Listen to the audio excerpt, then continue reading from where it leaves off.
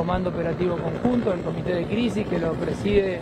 la ministra Bullrich y yo en mi carácter de gobernador, en función también en lo que nos permite la Ley de Seguridad Interior.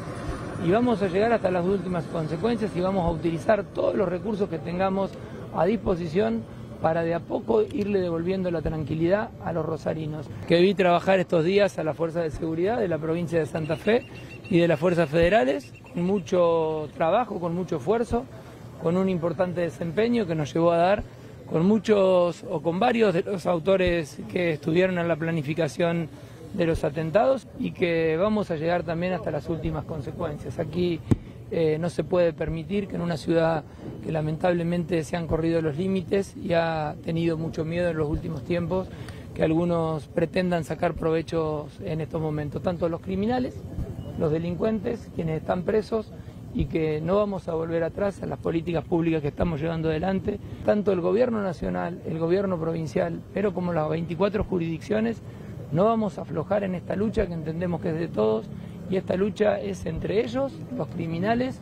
los delincuentes, los violentos y nosotros, la sociedad. Estamos dejando todo lo que tenemos para devolverle la tranquilidad a esta ciudad. No es fácil,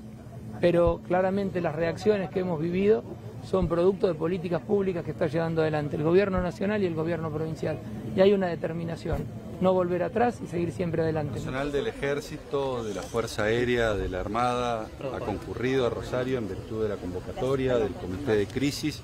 y a partir de allí, en el marco de lo que establece nuestra Ley de Seguridad Interior,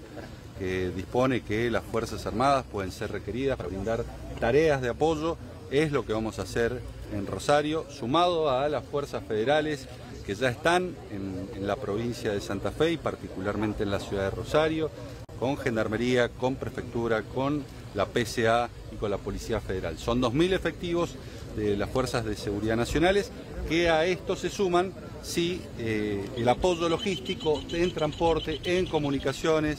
eh, en equipamiento que tienen las Fuerzas Armadas de, la República Argentina y que se hacen presentes en Rosario para aumentar los niveles de cobertura y para permitir eh, mayor eh, capacidad de acción por parte del personal policial. Hay un compromiso inclaudicable de luchar contra el narcotráfico y en el caso de las Fuerzas Armadas ese compromiso inclaudicable conforme lo establece la legislación actual eh, es a partir de un apoyo, del apoyo de los medios con los cuales cuentan